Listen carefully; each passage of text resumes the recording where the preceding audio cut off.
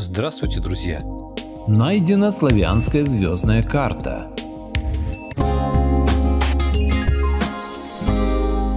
Благодарю всех, кто подписался на мой канал и смотрит мои видео. Ссылка на статью в описании. Сразу скажу, что тема эта запретная, и ученые не горят желанием изучать то, что обнаружено в сибирской тайге. Мало того, в сети почти нет информации про эти наскальные рисунки.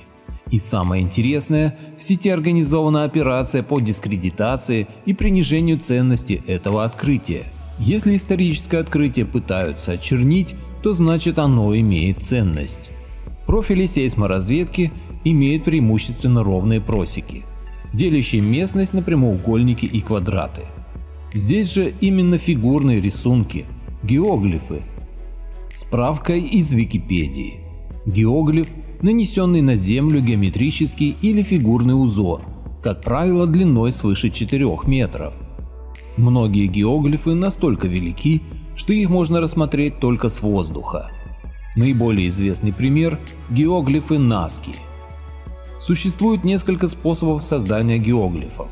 Путем снятия верхнего слоя почвы по периметру узора, путем насыпания щебня там, где должна пройти линия узора, путем высаживания деревьев формирующих необходимый рисунок. К использованию геоглифов в художественных целях прибегают и в наши дни. Красноярский край – субъект Российской Федерации в Сибирском федеральном округе. Относится к Восточно-Сибирскому экономическому району. Местное население – ненцы, эвенки, долганы. Территория края почти не заселена. Очень сильны там обряды шаманизма. Шаманы пользуются заслуженным уважением – поэтому издревле участвует во всех сферах общественной жизни. На территории края никогда не было древних государств с достаточно развитой промышленностью или технологическими ремеслами. Так нам говорят современные ученые. Иногда на скалах встречаются древние рисунки, но достаточно больших изображений найдено не было.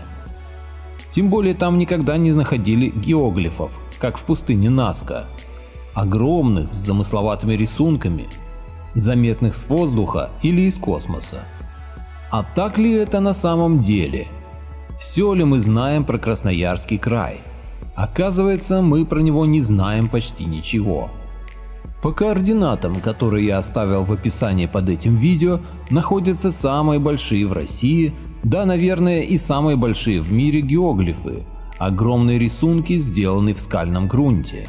Протяженность рисунков добрая сотня с лишним километров. Каждый рисунок шириной почти в 2 километра. Рисунки, правда, все однотипные. Видимо, это схематическое изображение звезд неизвестной нам галактики. И таких звезд там несколько десятков. Кроме того, все звезды идут в четком порядке. Они разграничены равными секторами, немного похожими на дороги. Скорее всего, это широта, долгота и проекции по меридианам а сектора состоят из звездных систем. Значит геоглифы привязаны к определенному месту. Знать бы еще где это находится. То есть я повторюсь, в незаселенной зоне Красноярского края среди скального грунта выложена или выбита в камне гигантская звездная карта.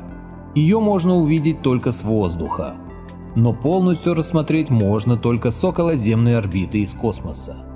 Видимо, карте этой много сотен, возможно и тысяч лет. Некоторые элементы уже почти разрушены и почти не видны на спутниковом снимке. Никаких упоминаний об этом феномене я не нашел, а значит мало кто знает, что скрывает от нас земля Красноярского края. Я даже не берусь предположить, какая могущественная цивилизация построила эти знаки. И главное, непонятно для чего все это было нужно. Так что рисунки пустыни Наска теперь отдыхают в стороне. У нас в России есть то, что им создаст достойную конкуренцию.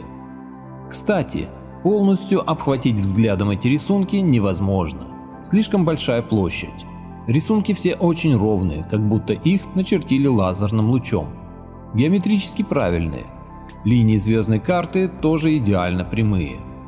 Думаю, что этот артефакт имеет все права быть одним из чудес света. Его неземная природа очевидна. С земли заметить рисунки было невозможно. Также не видно их из самолета. Детальная картина была получена со спутниковых фотографий. Я же нашел эти артефакты случайно и спонтанно. Но думаю, что это моя самая загадочная и масштабная находка. Знают ли об этих рисунках другие люди, мне неизвестно. Публикация на эту тему мне не попалась. Так что, возможно, это можно назвать настоящим открытием. Посмотрите эти рисунки сами по ссылке в описании под этим видео и попробуйте представить, что же это на самом деле. Поделитесь моим видео в соцсетях с родными, друзьями и знакомыми. Люди имеют право знать все точки зрения. Всем спасибо за внимание.